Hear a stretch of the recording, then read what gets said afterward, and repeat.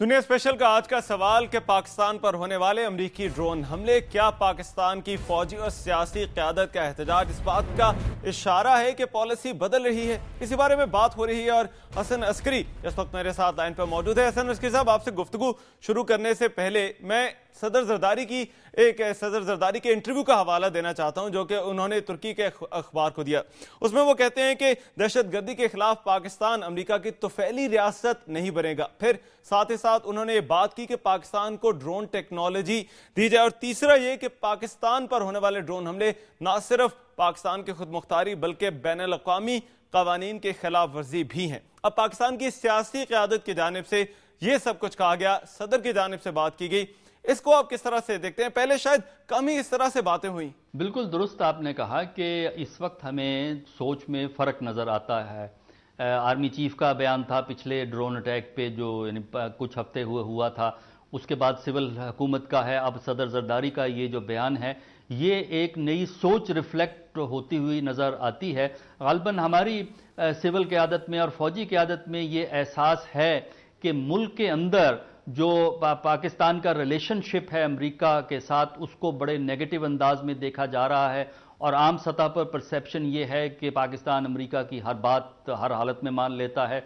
तो इस कहना चाहिए पब्लिक सेंटिमेंट की वजह से अब लगता यह है कि सिविल हुकूमत पे भी एक किस्म का दबाव है और फौज भी अब ये रियलाइज़ करती है कि कुछ उसे स्टैंड लेना होगा। यही वजह है कि आपके आईएसआई के चीफ जो वॉशिंगटन में गए उन्होंने पोजीशन ली है दो तीन इश्यूज़ के ऊपर। और जब आर्मी चीफ और फॉरेन सेक्रेटरी जाएँगे तो आप ये देखिएगा कि ये जो बातें इस वक्त हमारे मीडिया में डिस्कोर्स चलता है अखबारों में आर्टिकल छप रहे हैं यही वो इश्यूज़ हैं जो कि अब उठाए जाएँगे और बाद में जो स्ट्रेटेजिक डायलॉग होने वाला है उसमें कोशिश पाकिस्तान की अब ये होगी कि ये जो रिलेशनशिप 2007 से नीचे की तरफ़ जा रहा था इसको री आर्टिकुलेट इस तरह किया जाए कि पाकिस्तान जो है ज़्यादा इफ़ेक्टिव प्लेयर नज़र आए और ये इसलिए भी ज़रूरी हो जाता है कि अब अमेरिका अपनी कुछ फोर्सेस को विड्रॉ करेगा और 2014 के अख्ताम तक वो अफ़गानिस्तान से निकलने की बात मगर कर रहे अब ये, अब ये देखें दो मामले हैं दो मामले हैं जिन्होंने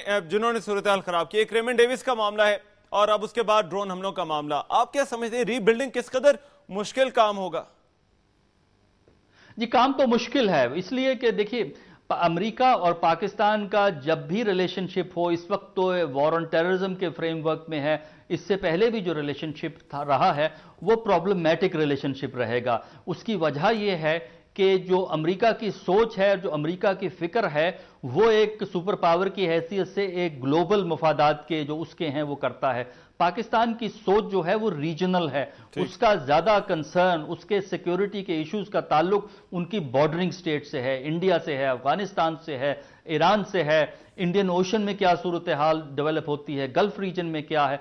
उसकी वजह से पाकिस्तान की हर प्रायोरिटी जो है अमेरिका की हर प्रायोरिटी से सिंक्रोनाइज नहीं माजी में भी नहीं हुई आज भी नहीं होगी। तो इसकी वजह से ये स्ट्रेन चलता रहेगा। अच्छा मगर अब ये यहाँ पर दो चीज़ें हैं। दहशत गर्दी के खिलाफ जंग है उसमें मैं दो हवाले देना चाहता हूँ। एक आपको व्हाइट हाउस की रिपोर्ट याद होगी जिसमें वाज तौर पर कहा गया कि पाकिस्तान के पास दहशत गर्दी के खिलाफ लड़ने के लिए हमत अमनी मौजूद नहीं। और दूसरी जानब अब ये सियासी क्यादत और फौजी क्यादत के बयान हैं। हैं दोनों दहशत गर्दी के खिलाफ जंग में तहादी मगर एक दूसरे की पॉलिसी पर इस तरह से तनकीद की जा रही है देखिए उसकी कई वजूहत हैं कि हम ये तनकीद देखते हैं पहली तो ये है कि वहाँ पे रूटीन में वक्ता फ़वक्ता रिपोर्टें हुकूमत जो है अमेरिका की डिपार्टमेंट ऑफ़ स्टेट जो है उनकी कांग्रेस हम्म। को रिपोर्टें देता है और जिसमें वो तनकीद करते हैं पाकिस्तान पे भी करते हैं और मामला पे अपनी हुकूमत पे भी बाज़ दफ़ा वहाँ पे नेगेटिव कमेंट आपको कांग्रेस के अंदर से नज़र आता है देखिए ये तो व्हाइट हाउस की रिपोर्ट थी ना ये तो व्हाइट हाउस की रिपोर्ट थी जो कि उनकी कांग्रेस में पेश की जानी है। और कहा यह जाता है कि बहुत हद तक अमेरिकन मेंटालिटी जो स्टेट मेंटालिटी है स्टेट पॉलिसी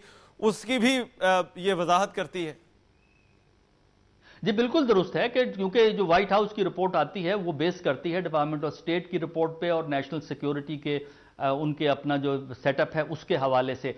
वजह इसकी ये है देखिए इस वक्त जो प्रॉब्लम हमें यूएस पाकिस्तान में नज़र आती है वो ये है कि यूएस की जो पाकिस्तान के बारे में असेसमेंट है वो दो हैं। एक तो ये है कि पाकिस्तान की कोऑपरेशन अमेरिका के लिए ज़रूरी है वॉर ऑन टेररिज्म के लिए। दूसरी उनकी असेसमेंट ये है कि पाकिस्तान के जो रियासती अदारे हैं जिसमें हुकूमत है जिसमें इंटेलिजेंस एजेंसीज हैं उनका सब, उनका कहना यह है उनकी असेसमेंट यह है कि इनमें यूनानिमिटी ऑफ़ व्यू नहीं है कि टेररिज्म को खत्म किया जाए इन ग्रुप्स को कमज़ोर किया जाए बल्कि कुछ ग्रुप्स को अब भी पाकिस्तान के अदारे एसेट समझते हैं और ठीक है हसन साथ हसन साथ ठीक। मैं मेरे साथ रहेगा मैं आपकी जाने वापस आऊँगा। इसी नुक्ते को बैरिस्टर सैफ इस वक्त मेरे साथ मौजूद हैं। उनसे मैं पूछना चाहता हूँ। बैरिस्टर सैफ साहब कहा यह जाता है मुशरफ की बाकियात हैं और ये सिलसिला ड्रोन हमलों का तब से चला आ रहा है। पाकिस्तान अमरीका की तो फैली रियासत तब से बना हुआ है।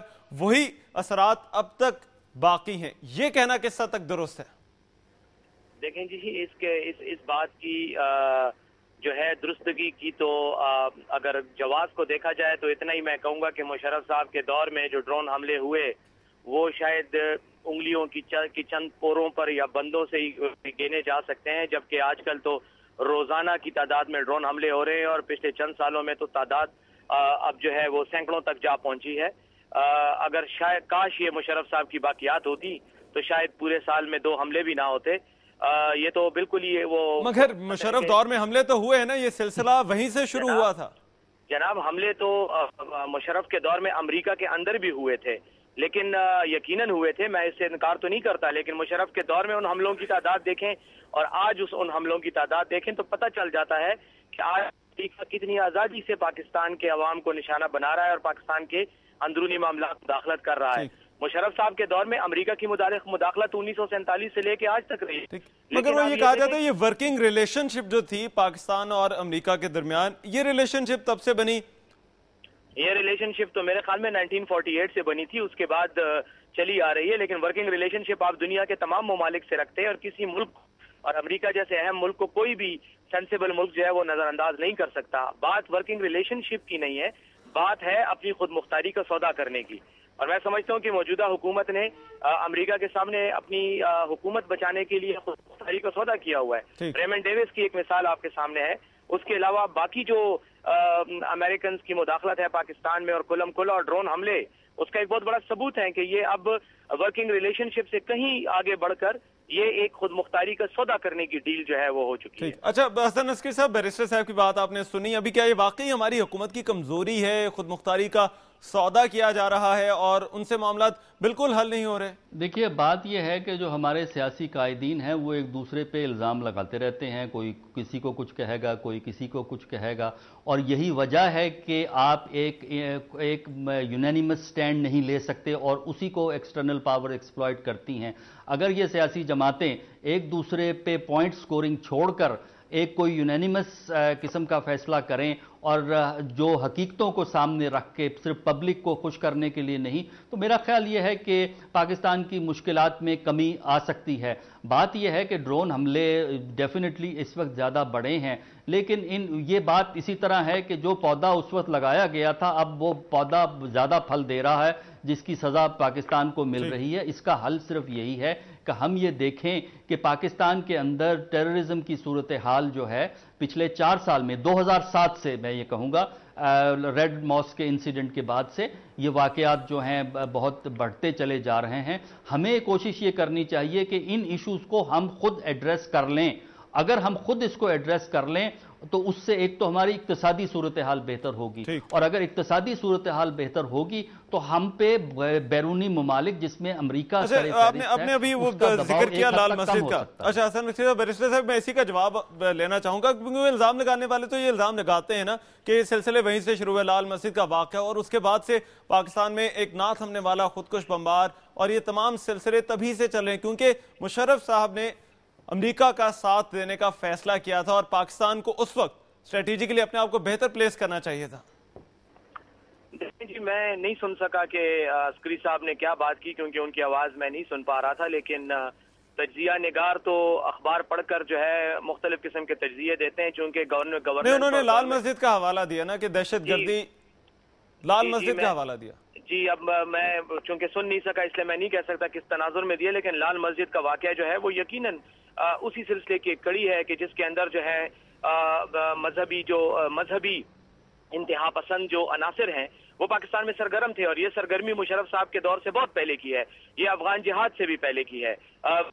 मतलब उन, उस दिनों में जब सोवियत यूनियन ने इन्वेट किया, उसके बाद से ये सिलसिला आ रहा है। अब उसको सब कुछ मुशरफ साहब की झोली में डालना तो मैं समझता हूँ कि एक इंतहाई कमकली की बात है और या लाइलमी की बात है। लेकिन जहाँ तक ताल्लुक है लाल मस्जिद का तो लाल मस्जिद में यकीनन दहशतगर्दी हो रही थी। और इसी वजह से आ, तमाम मजहबी अनासर उस वक्त एमएमए के लोगों को इमाम को और बड़े बड़े मुस्लिम रहनुमाओं को जो है उसमें डाला गया। मसला हल नहीं हो पा रहा था इसलिए रियासत के पास सिवाय इसके और कोई चारा ही नहीं था। कि वो बाय यूज़ ऑफ़ फोर्स जो है इस मसले को क्रश करते हैं अच्छा अब ये ड्रोन ड्रोन वाला जो मामला है ड्रोन वाला मामला अब इस पर आप क्या कहते हैं? क्या इस मसले का हल है? किस तरह से इन्हें रोका जाए? देखें जी ड्रोन का मामला तो बड़ा वादे है कि अमरीकियों को तो यकीनन पाकिस्तान की सरजमीन पर मुदाखलत करके और चाहे वो ड्रोन की शक्ल में हो चाहे वो मिलिट्री एक्टिविटी की शक्ल में हो वो मुदाखलत उनको नहीं करनी चाहिए। ये तो एक बैन अवी कानून का भी हिस्सा है। लेकिन इस मसले का, अगर वो ये कहते हैं, वो इल्ज़ाम लगाते हैं कि दहशत गर्द कबायली इलाकों में मौजूद हैं, जो उनके खिलाफ कार्रवाई कर रहे तो इससे तो हम इनकार नहीं कर सकते कि यकीनन एक ऐसा एलिमेंट मौजूद है कि जो पाकिस्तान को भी डिस्टेबलाइज कर रहा है और दूसरी तरफ़ अफ़गानिस्तान में भी अमरीकी फौज के खिलाफ कार्रवाई में मसरूफ है। दोनों में फ़र्क ज़रूर है। जो अमरीकी फौज के खिलाफ कार्रवाई कर रहे हैं वो अफ़गानिस्तान की आज़ादी की जंग लड़ रहे हैं। उस पर हमें कोई एतराज़ नहीं होना चाहिए। लेकिन जो पाकिस्तान के अंदर कार्रवाई कर रहे हैं वो यकीनन एक दहशतगर्द आंसर है। उनके खिलाफ पाकिस्तानी फौज ऑलरेडी बरसरे बेकार है। लेकिन मैं समझता हूँ कि अमरीकी जो है वो बावजूद पाकिस्तानी फौज की कारकर्दगी से मुतमिन नहीं और इसलिए ड्रोन हमले कर रहे लेकिन हमारी हुकूमत को इस पर एक स्ट्रांग स्टैंड लेते हुए अमरीकियों को रोकना चाहिए लेकिन ये नहीं रोक रहे इन्हें रोकना पड़ेगा। बैरिस्टर साहब साहब बहुत शुक्रिया हमारे साथ मौजूद थे। क्या पाकिस्तान के खिलाफ लड़ने वाले तालिबान और हैं और अमरीका के खिलाफ अफ़गानिस्तान में बरसर पैकार तालिबान और हैं? इस मामले का क्या कोई सियासी हल है या नहीं? इस बारे में गुफ्तगु जारी रहेगी दुनिया स्पेशल में। वापस आते हैं इस ब्रेक के बाद।